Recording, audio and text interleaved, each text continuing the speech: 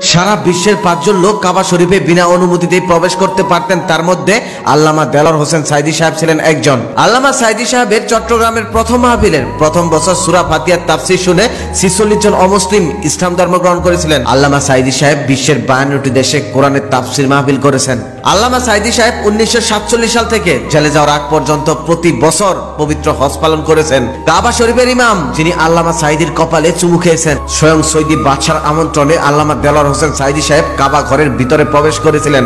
একবার সৌদিতে সারা বিশ্ব থেকে বাছাই করা এক হাজার আলেমদের মধ্যে যে জবর পেজ ছাড়া একটি কোরআন প্রতিযোগিতার আয়োজন করা হয়েছিল, সেখানে আল্লামা দেলার হোসেন সাইদি সাহেব সর্বোচ্চ নিরানব্বই নাম্বার পেয়ে প্রথম হয়েছিলেন। গতকাল পর্যন্ত আমাদের দেশে সেই কোরআনের পাখিটি ছিল, তবে আজকে আর নেই। এতক্ষণে মনে হয় তার শেষ কীর্ত শেষ হয়ে গেছে।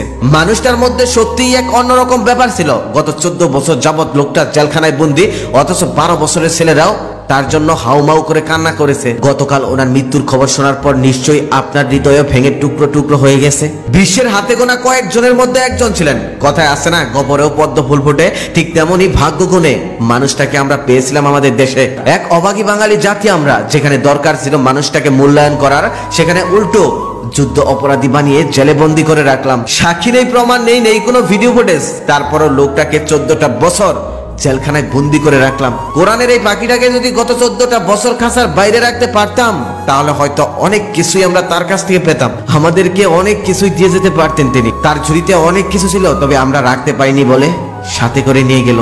ওপারে ভালো থাকবেন হুজুর, আপনার প্রাপ্য সম্মান তো দিতেই পারিনি, উল্টো দিয়েছি অপবাদ। আল্লাহ তাআলা নিশ্চয়ই আপনার প্রাপ্য সম্মান ফিরিয়ে দেবেন।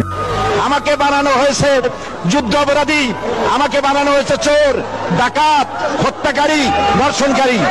আমি আল্লাহর নামে কসম করে বলছি আল্লাহ! তোমার জাতের কসম, তোমার ইজ্জতের কসম, তোমার সম্মানের কসম, উনিশশো একাত্তর সনের এক ফোঁটা বালি বা কাদা আমার গায়ে লাগে নাই লাগে নাই, লাগে না